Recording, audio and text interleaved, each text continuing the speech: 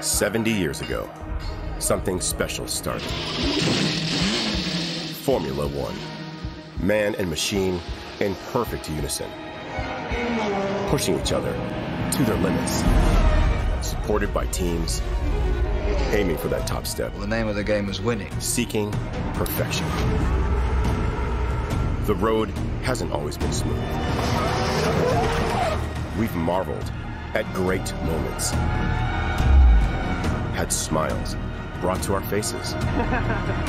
Cried with our heroes. Witnessed incredible bravery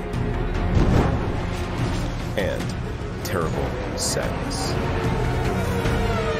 Moments never to be forgotten. For 70 years, this has been their Everest.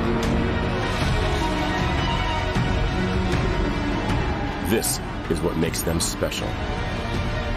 This is the story of Formula One.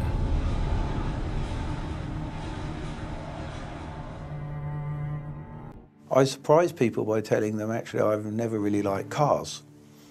And uh, of course, they, they don't believe me. Ron Dennis is one of the real Formula One trailblazers.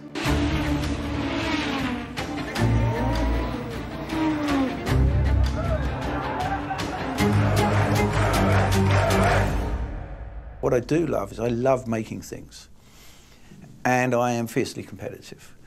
So Formula One provided the perfect opportunity to be in an extremely competitive world and make beautiful things because, uh, you know, whilst not every Grand Prix car has uh, been uh, aesthetically beautiful, they are normally made very, very well. Ron is famous for attention to detail. By the way, a lot of senior people in motor racing are. Jackie Stewart famously was and is. Bernie Ecclestone famously was and is. You know, David Richards, Flavio Briatore, all of these people like presentational perfection, otherwise known as OCD. And Ron will admit that. I think in today's language, I am uh, compulsive obsessive, and I've always been that way. But mine is sort of sits in my mind where it won't stop analysing, seeking perfection, trying to find a better way to do things, but uh, at the same time, in an environment of phenomenal order. If you open any cupboard in my home, every can is completely aligned and uh, with the labels pointing to the front. It was attention to detail. Um, I, I, mean, you know, everything had to be done just right. Um, I think he'd met Roger Penske, actually, and saw the way Roger did things, ran his team, um, and you could see that Ron was sort of picking up on that uh, and, and saying that, you know, there's no excuse for failure.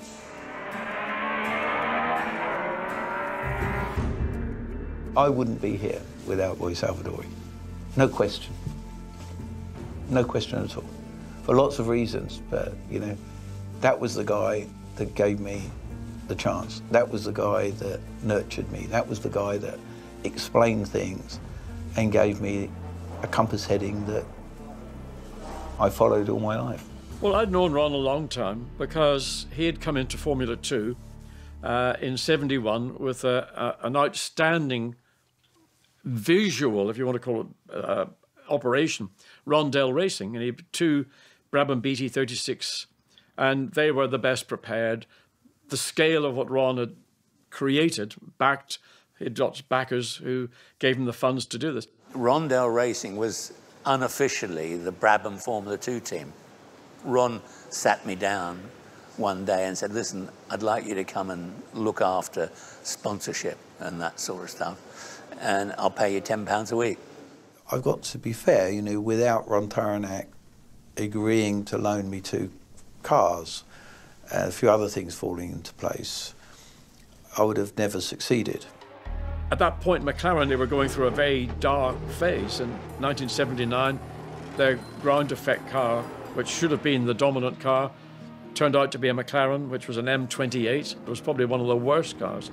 that McLaren factory has ever produced. Marlboro, who were the principal backers of the McLaren team, were concerned that McLaren had lost the plot totally. I tried to convince them to uh, drop the sponsorship of McLaren and sponsor my team. The board came back and said, no, uh, it's not going to happen. I phoned up John Hogan. I said, look, you know, I have an idea. Why don't I buy McLaren? And he said, what do you mean? You know, how, how, are you going to buy McLaren? I said, well,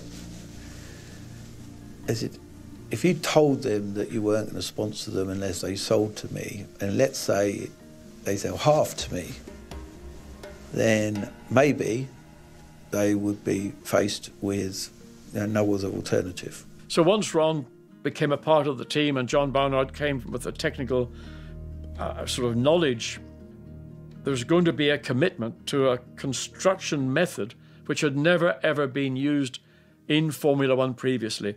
Because of the ground effect, one way of improving it was to make your ground effect wings wider, bigger, so you got more surface area, more downforce. Uh, to get that, I had to narrow the chassis. And by narrowing the chassis as much as I did, I lost, would have lost, a, a torsional stiffness and general bending stiffness of the chassis. So I thought, how can I put that back? I need another material. I thought about maybe I should make a, instead of a, a, an aluminium skin monocoque, I'll make a steel skin monocoque. But then weight was an issue and so on. And then I got, uh, got a phone call from uh, Steve Nichols, who I knew from my IndyCar time. He told me he was developing a new car for Project 4. Wanted a stiff, narrow monocoque for the ground effect uh, type of cars that were in existence then. But and he said he was uh, wanted to use an innovative new material to add stiffness, and uh, couldn't get anybody in England to build it for him. And so I said, well.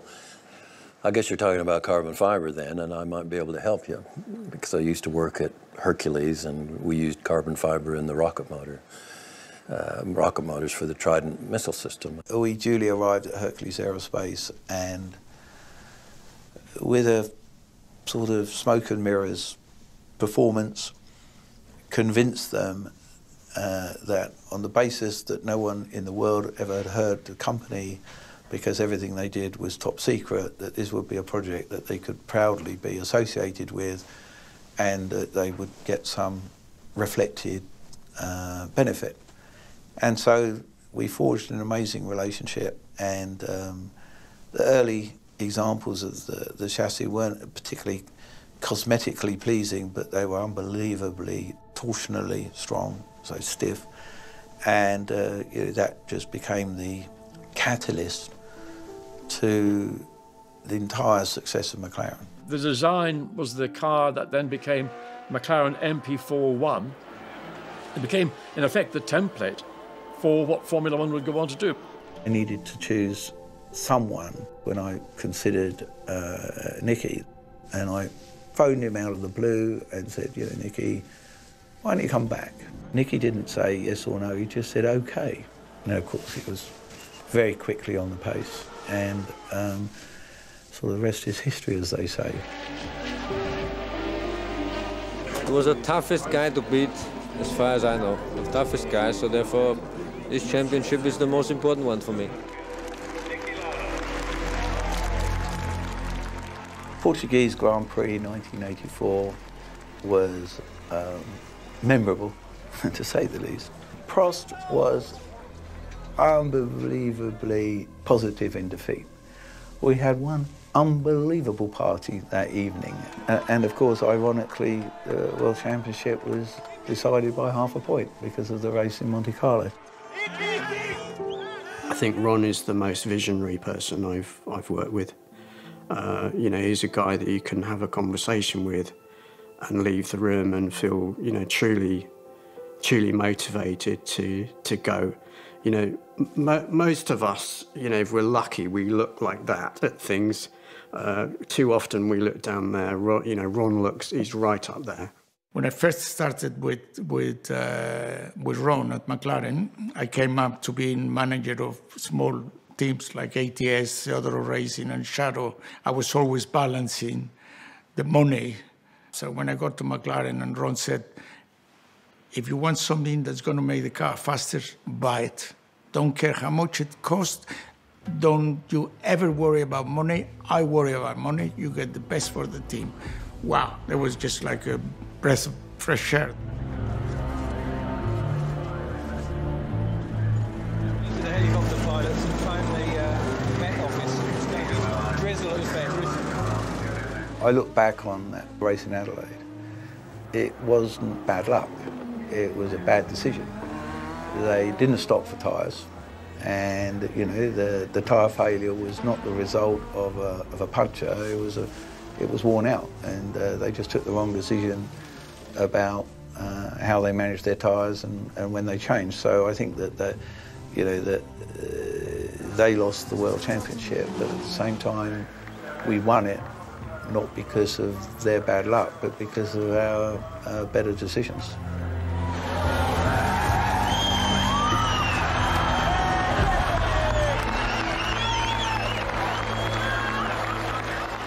Looking back on it, of course, it was that, I don't know, moment of vindication for John and for myself for taking that really adventurous step into the world of carbon fibre. And of course, now, not only every Formula One car, but most competitive cars, uh, you are much better heavily strapped into a survival cell than any other uh, type of accident. The best thing about Ayrton was intelligence and rationality. So much as he had the odd Brazilian flare up, you could have amazingly deep uh, conversations with him. And, you know, I, I think I understood him uh, better than anybody else ever on the planet because I was in a period of his life which was the most intense period of his life, all the success of his life. And I saw him wrestle with uh, things that never came to the surface because they weren't things that were directly ta taking place in, the, in, in, within Grand Prix racing. It was very much things that happened in his private life that I managed to help him with both as a friend but also as someone that I felt mentored him well through some of the crises in his life. The most important thing to all of us is to keep the good moments. And I had a tremendous time. You know, the records tell, speak for themselves, the results, the championships. And I leave friends behind. And I think that's the best way to do it. leaving friends behind, winning last race, coping an extremely difficult season with the technical reasons that we all know and winning five races, it is tremendous.